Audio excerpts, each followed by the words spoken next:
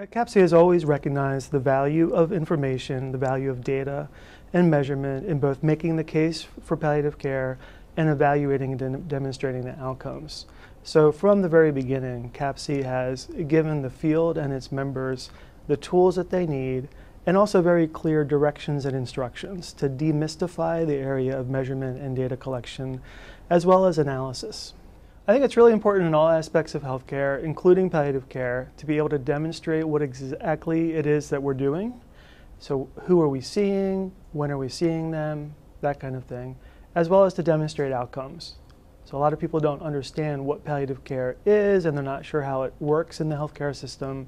The more data you can bring to bear to make it clear what palliative care is and what value it brings to patients and families, as well as to institutions, the better off we're all going to be. I think a lot of people do have uh, apprehension about gathering data and about measuring their process or their outcomes of care. So that's, that is pretty common in the palliative care field.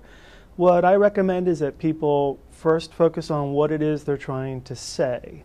So beginning with the end in mind and trying to figure out, well, what story are you trying to tell with data or with measures about the work that you do?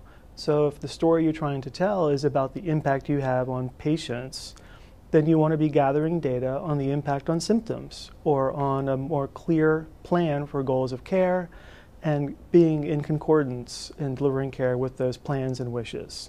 If your goal is to demonstrate that you're able to keep patients out of the emergency department and out of the hospital toward the end of life, then that's the kind of thing that you would focus on too. And the, the stakeholder or the audience for those kinds of data might be the institution, it might be a payer, but also, again, the community and the patients and the families, because no one who is in an advanced stage of disease or very frail wants to be making multiple trips to the emergency department.